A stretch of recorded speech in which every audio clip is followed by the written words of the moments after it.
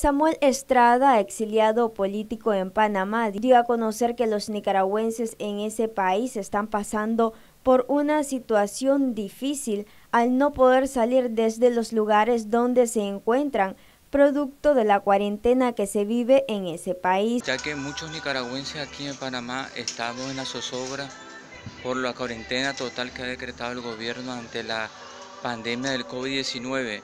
Muchas familias nicaragüenses solicitantes de refugio y residentes estamos aquí pasando una gran necesidad, ya que no somos incluidos en ningún beneficio, tanto por el gobierno panameño ni como organismo de derechos humanos.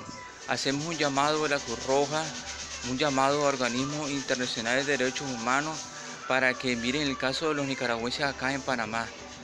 Les rogamos, ¿verdad?, que asistan a esta familia, ya que son eh, familias que han venido acá por la represión del gobierno nicaragüense, por lo tanto han venido aquí huyendo del régimen y aquí hay familias con niños, ¿verdad?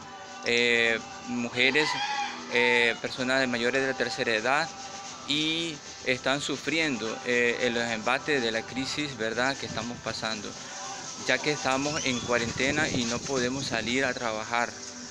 Esto hacemos un llamado, un SOS ante el mundo para que conozca la situación de nosotros nicaragüenses. Asimismo, insta a los nicaragüenses a no salir a las calles para evitar la propagación del COVID-19. También instamos a la población nicaragüense y la felicitamos también por quedarse en su casa.